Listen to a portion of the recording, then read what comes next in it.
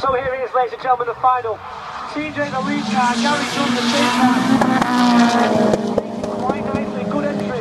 Not entry from Gary Dunn. There was a small mistake from TJ.